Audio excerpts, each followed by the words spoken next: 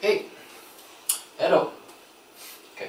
Hey, thanks for staying for, um, hello, thanks for staying with me for uh, the mechanism video. So in this one here, I'm going to show you guys how we go from a ketone with excess alcohol and uh, to save time, I'm going to just do the acid catalyzed method. You want to see the base catalyzed method, just post a comment down below. If I have time, I'll make it for you. But uh, yeah, we're going to do it with the acid catalyzed method, and you guys are going to see how we go from here to a hemiacetal, and then from hemiacetal to acetal, okay? Alright, so uh, I want you guys to do this mechanism along with me, and you want, you want to try and be one step ahead of me every time, okay? So right now, uh, you have to ask yourself, like, what's going to be the first step, right? And because this reaction is acid catalyzed, we probably have to do something with the acid first, and that's exactly what we do. So you need to ask yourself, what in your beaker is going to be protonated or get a hydrogen or a proton from this acid? Because that's what acid does, it throws protons away. So you have two options here, the alcohol oxygen over here, or the ox oxygen of your carbonyl.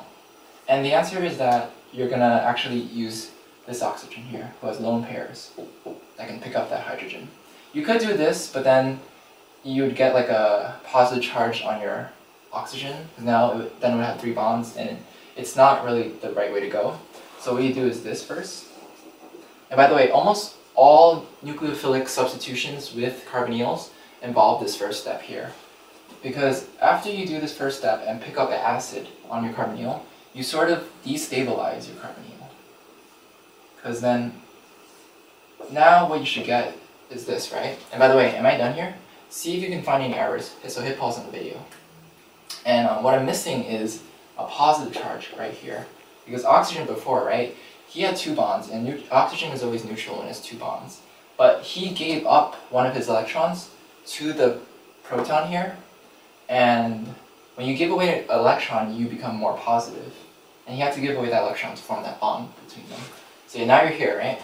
And then what you have to realize now is that your carbonyl groups, they can resonate. And what I mean by that is like the double bond here can shift up to fix that um, positive, positive charge on the oxygen.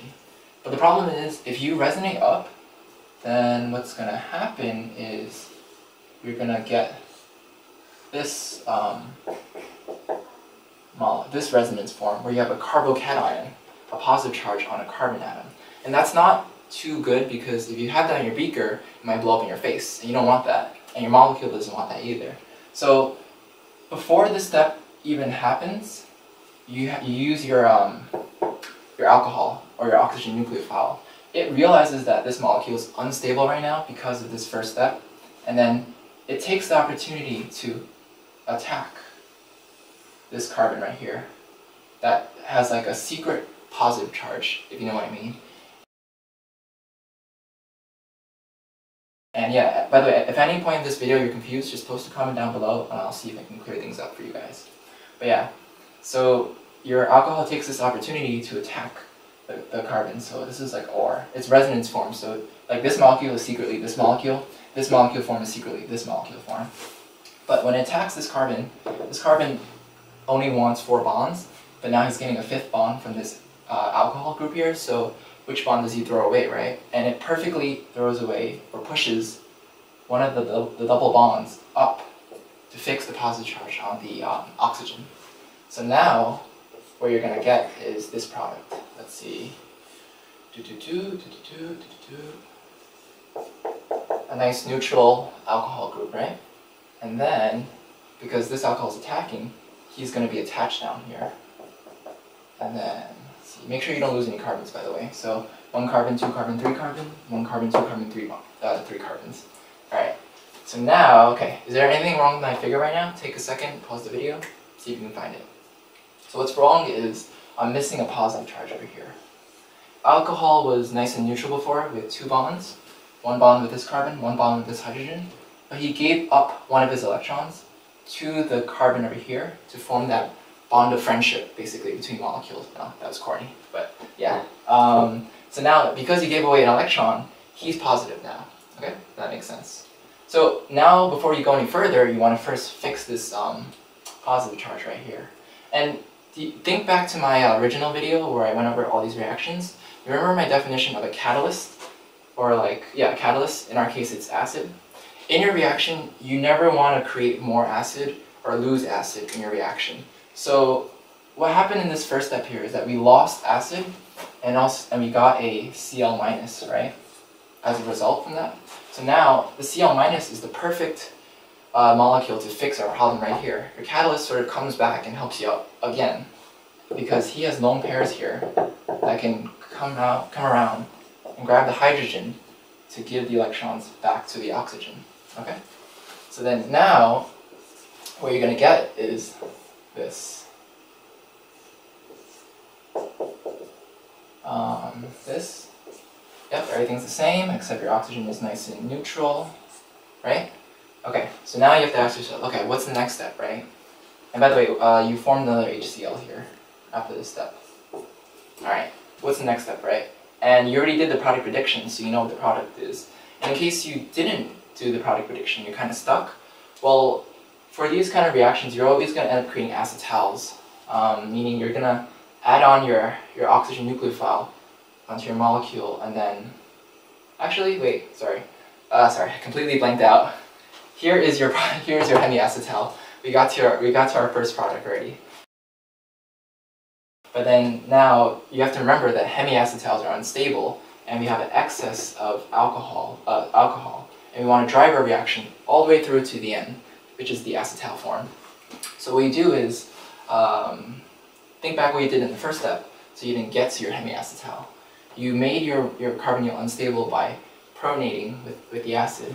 So you do it, you, you don't have a carbonyl anymore, but now you have alcohol. And your goal is to eventually kick out your alcohol, uh, your, this oxygen, right? Because it gets kicked off in the form of water. So you want to kick it off. How you kick it off, you turn it into a better leaving group. How do you turn into a leaving group? You give it a positive charge by forcing your alcohol to attack the acid. And then when you attack the acid, what you're gonna get is do, do, do, do, uh, this molecule over here with a positive charge now, right? Because carbon had two bonds before, now he has three bonds. So he's positive, and also he lost electrons when he made the bond. But yeah. This, I'm just gonna move our your um, ether up here just to just to like make it easier to see our product. All right. All right. So now, what do we do, right? We want to kick it off, but how do we kick it off? You could do this, right? You could do this and just like make it leave. If you do do that, then you're gonna get um, what you gonna call it? You're gonna get a uh, carbocation, right? If you remember back to carbocation, they're really really bad. They uh, they destabilize your molecule. They they're like really unstable molecules. They're very reactive, so you don't want to form a carbocation. So instead, um, your molecule kind of says, uh, kind of wants. Okay, so okay, sorry, I lost my train of thought. But uh, yeah, the reason why you have excess uh, alcohol is because now plays a second role. It comes in and attacks in to get to your product. So your another uh, propanol molecule is gonna just attack this carbon right here. And then when he attacks this carbon right here, this carbon has four bonds already. So he's like, okay, I don't need this many bonds, right? So which one do I give away?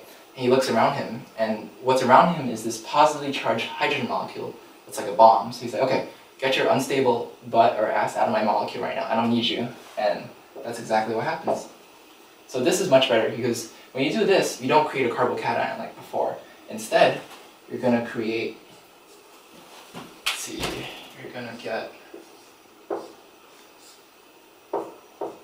this molecule over here, right? Which is really, really close to our acetal by um, final product. But by the way, anything wrong here? You guys can probably already guess what's wrong. And it's the positive charge. Oxygen had two bonds, now he has three bonds. He lost electrons to form the bond, yada yada. I'm pretty sure you guys are tired of me saying that over and over again. But yeah, so how do we fix this? You have to think back to the whole catalyst problem. Keep track of your catalyst, right? Uh, your catalyst got used up over here, and then you got your catalyst back over here, and then your catalyst got used up again in this step here. So then now you, in this step here, when it got used up, you formed Cl minus. So I'm just going to bring our Cl minus over here. Okay? And the Cl minus can help us out perfectly because he has electrons that can grab the H, resonate the electrons, well not resonate, but give the electrons to the oxygen. And then, here we go. We're at our final product of acetal. Uh, this water molecule that got kicked off is the water molecule that's over here. And, uh, whew, alright. Lost my train of thought. Give me a second to catch up. But, um, yeah. And then, you after this step here, you're going to create your HCl catalyst again. And because you didn't create any more of your catalyst uh, than you already had, you know that you did the right mechanism. So I know this is kind of crazy, so take a second. If you got confused or anything, just jump back, take another look at everything. But um, another trick you can use is um, every time your catalyst gets used up, put a sad face. And then when you get your catalyst back, put a happy face. Sad face. Um, happy face. Your sad, your sad faces and your happy faces, the number of sad faces and happy faces should cancel out with each other. So this way you get a net of zero, meaning you don't make more of your catalyst, you don't lose any of your catalyst. And um, let's see what else. And also, you, did you kind of see how like every time I got stuck in this mechanism, what kind of helped me along was like the catalyst. Like when I got stuck here because this molecule wouldn't really react, I made it unstable here. I changed the carbonyl to make it more unstable by reacting with the acid.